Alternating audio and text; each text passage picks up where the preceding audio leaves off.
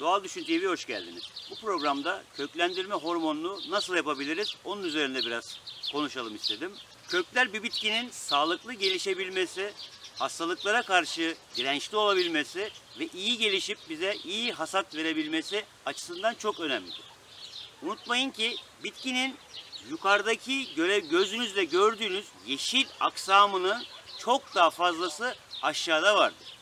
Mesela domatesin kökü 1 metre küplük bir alanı kaplayabilir. Onun için kökleri ne kadar çok kütlesel olarak arttırabilirsek ve sağlıklı tutabilirsek o oranda bitkimiz daha sağlıklı olacaktır, daha kuvvetli olacaktır. Hastalıklara ve özellikle zararlı dediğimiz böceklere karşı mukavemeti çok daha yüksek olacaktır. Bunun için biz sadece bitkinin yeşil bölgesindeki sağlığı değil, aslında gözümüzle görmediğimiz toprağın altındaki köklerin sağlığını çok da önemsemek durumundayız.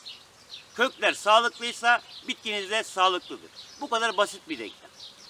Şimdi bizim köklendirme hormonu dediğimiz şey, yani teknik olacak belki ama indol bütürik asit ve salisilik asit. Bunun ikisi özellikle bütürik asit köklendirmeyi yani hiç olmayan kökü ortaya çıkartabilecek bir özelliğe sahipken salisilik asit de mevcut kökün kütlesini daha da arttırabilecek bazı etkiler yapar. Bizim yapacağımız söğüt çayı, çayı içerisinde salisilik asit çok daha yüksektir. Yani o bildiğiniz aspirinlerin aslında ana maddesidir, ham maddesidir. Salisilik asitin kimyasal denkleminin hidrofob olan bölümünde bir adet bütürik asit molekülü yapışmıştır. Bunun için biz söğüt dallarını toplayacağız. Ve bunlardan kaynatarak bir hormon elde edeceğiz. Bitkisel bir hormon elde edeceğiz. Toplarken dikkat edeceğimiz tek konu şu, dalların sarı veyahut da yeşil olmasına özen göstereceğiz. Yani kahverengileşmiş, siyahlaşmış bir dal içerisinde artık ne salisilik asit vardır ne bütürik asit vardır. Bunları ağaç yeni çıkaracağı dallara doğru sevk edeceği için çok fazla kahverengi ve siyahlaşmış dalları toplamayın. Sarı ve yeşil ve yaklaşık bir serçe parmağı kalınlığında olacak. Zaten bunun açtıktan sonra iyice yaşlanmaya başlayacağı için dal bizim çok fazla işimize yaramayacak. Ayrıca bu yapraklar da bizim işimize yaramayacak. Bunları da tamamen kopartıyoruz. Ancak bunları atmayın. Kompostunuzla değerlendirin. Mikrobiyal sıvı gübre yapmıştık. Onun içerisine koyabilirsiniz. Değerlendirebilirsiniz. Yani bunu bu yaprakları da kaynatalım. Biz salisilik asit elde eder miyiz derseniz hayır bunun içerisinde salisilik asit yoktur. Sadece dallarında vardır. Biz bu dallarımızı bu şekilde elde ettikten sonra yaklaşık olarak iki parmak kalınlığında bunları keseceğiz ve suyun içerisinde kaynatacağız. Şimdi söğüt çayımızın yapımına geçebiliriz. Yani görünmesi açısından ben ufak bir tencerede su kaynatıyorum. Suyumuz kaynasın. Kaynamaya başladığı zaman 2-3 santim boyuna kestiğimiz söğüt dallarını içerisine koyacağız ve bir taşım kaynatacağız. Biz nasıl kesmek isterseniz o şekilde kesme şansınız var. Nasıl kolayınıza geliyorsa makasla kesebilirsiniz. 2-3 santim boyunda. Çok önemli değil ne kadar uzun olduğu. Çok kısa olmasın, çok uzun olmasın. O şekilde kesip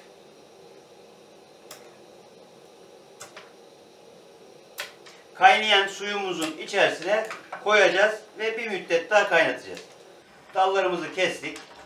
Suyumuz da kaynama noktasına yavaş yavaş geldi. Şimdi yapacağımız iş bu söğüt dallarını suyun içerisine koymak. Koyacağınız oran çok önemli değil aslında. Çünkü söğüt dalının içerisinde ne kadar salisilik asit olduğunu bilemeyeceğimiz için içerisine ne kadar koyacağımız konusu da biraz oransı olarak vermek mümkün olmuyor. Şimdi bu biraz kaynasın. O kaynarken biz de biraz teknik konuda yapmaya çalıştığımızın ne olduğunu anlamaya çalışalım. Bitkiler yara aldığı zaman, işte ağaçlar olsun veya diğer bitkiler yara aldığı zaman hemen bunu aynı insandaki yaranın üzerine nasıl kabuk bağlarsa kabuk bağlatmaya çalışır. Çünkü dışarıdan gelebilecek herhangi bir patojenlerin bitkinin içerisine girmemesi için o açık yaranın bir an önce kapanması lazım. Bunun için de absisik asit denilen bir asit salgılar.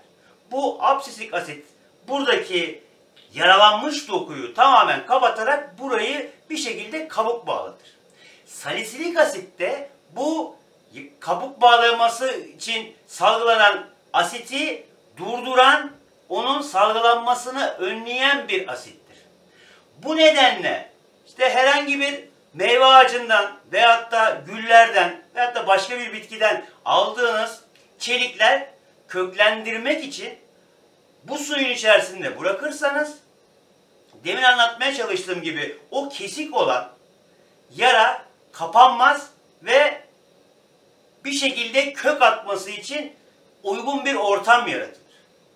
Ancak bu demek değildir ki salisilik asit köklendirme yapar. Yani olmayan mevcut bir kökü ortaya çıkartmaz. Ancak bütürik asit olmayan kökü ortaya çıkartır.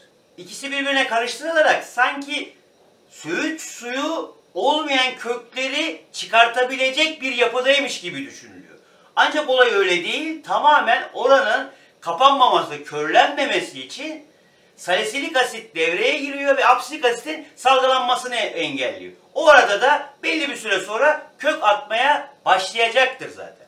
Şimdi biz bunu kendi sebzelerimizde nasıl kullanabiliriz? Kullanabileceğimiz en güzel metodu bunu sulama suyuna katmak veya tamamen bununla sulamak. Hele ki ilk defa fidelerinizi dikiyorsanız mutlaka ve mutlaka can suyunu söğüt suyuyla vermeye çalışın. Sezon içerisinde belli aralıklarla özellikle ilk etapta yani bitkimiz gelişme çağında olduğu dönemlerdeki sulamalarda mutlaka ve mutlaka söğüt suyunu sulama suyuna katarak kullanmaya çalışın. İlerideki dönemlerde bitki iyice geliştikten sonra belki kullanmayabilirsiniz.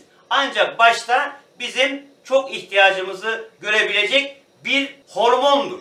Böyle bir tık kaynadığı zaman yapacağımız işlem çok basit. Bunun ağzını kapatacağız. Karanlık bir yerde bunu 3 gün bekleteceğiz. İsterseniz bunun üzerine bir bezle örtebilirsiniz. Bez örterek karanlık bir yere koyarsanız bir üç gün bekledikten sonra jelimsi bir hale gelir. Karanlıkta bekletmemizin nedeni de hormonlar güneş ışığında çabuk parçalanırlar. Kaybetmemek için bu içerisindeki bitkisel hormonları bunu karanlıkta 3 gün bekletin. Ondan sonra kullanırken hızlıca bir şekilde kullanmaya çalışın. Mümkün olduğunca çok fazla güneş görmesin. İsterseniz çoğaltmak açısından 10 litre sulama suyuna 1 litre söğüt suyu kullanabilirsiniz. İsterseniz tamamen söğüt suyuyla da sulayabilirsiniz. Şöyle bir pozisyonumuz var çünkü saf salisilik asiti suya doyurduğumuz zaman pH'i 2.4 gibi çok asitik bir su elde ederiz. Ancak bu şekilde yaptığımız yani dallardan elde ettiğimiz salisilik asit çok yoğun bir şekilde olma şansı yok. Ne kadar su, e, dal koyarsanız koyun suyun içerisine o 2.4'leri oluşturabilecek bir yapıyı yakalama şansınız olmaz. Çünkü saf hali değildir. Biz çıkarabildiğimiz oranda içerisinden çıkartmaya çalışıyoruz ve bundan fayda görmeye çalışıyoruz. Suyunuzun ilk baştaki pH'i kaçsa 8 ise 3 aşağı 5 yukarı zaten 8 pH'ta kalmış demektir. Suyumuz kaynadı. İşlemimiz bitmiştir. Gözün altını kapatabiliriz. Kapattık. Bunun da ağzını kapattık ve karanlık bir yerde yaklaşık 3 gün bunu bekleteceğiz. Mutlaka mutlaka karanlık bir yer olsun. Hatta dediğim gibi üzerine bir örtü örterseniz çok da iyi edersiniz. İşlemimiz bu kadar basit. Bir videonun daha sonuna geldik. Kimsenin sizi doğal düşünmekten alıkoymasına izin vermeyin. Sağlıklı kalın, sağlıcakla kalın.